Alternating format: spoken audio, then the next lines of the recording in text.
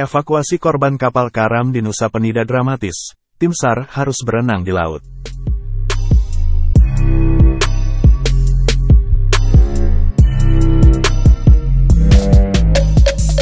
Tim SAR gabungan mengevakuasi KM, kapal motor. Naga Mas Perkasa 58 yang kandas di perairan Jungut Batu Lembongan, Kecamatan Nusa Penida, Kabupaten Klungkung, Bali, Rabu tanggal 3 April tahun 2024. Kondisi kapal sudah mulai miring dan air masuk dari bagian belakang kapal. Kami berkoordinasi dengan kru kapal bahwa pihak mereka ingin dievakuasi karena kondisi kapal telah mengalami kerusakan pada bagian ruang mesin. Ujar Koordinator Unit Siaga SAR Nusa Penida, Cakra Negara, Rabu tanggal 3 April tahun 2024.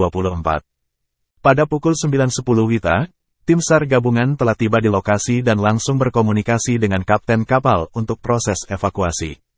Karena posisi dangkal maka perahu karet tidak bisa merapat. Tim SAR harus berenang di laut dengan menggunakan pelampung. Proses evakuasi berlangsung dramatis. Tim SAR melempar pelampung agar bisa digunakan oleh ABK yang semalaman terjebak di kapal. Proses evakuasi korban membutuhkan waktu sekitar 50 menit, sampai seluruhnya telah terevakuasi. Kami mengevakuasi 5 ABK dengan selamat ke atas perahu karet, ungkapnya. Menurut keterangan dari kapten kapal saat dimintai keterangan, bahwa kapal kandas karena terbawa arus ke arah daratan, sementara mesin kapal tidak cukup kuat untuk melawan arus. Kelima kru KM Nagamas Perkasa 58 dibawa ke dermaga Apung Jumut Batu, Nusa Lembongan, Kabupaten Klungkung. Selanjutnya diserahkan kepada pihak kepolisian untuk pendataan lebih lanjut.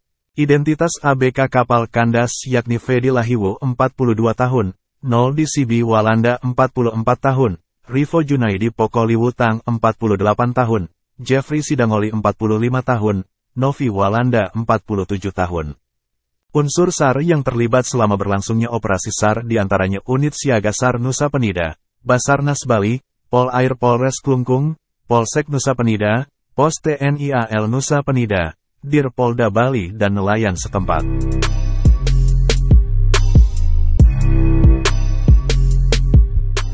Download Tribun X sekarang. Menghadirkan lokal menjadi Indonesia.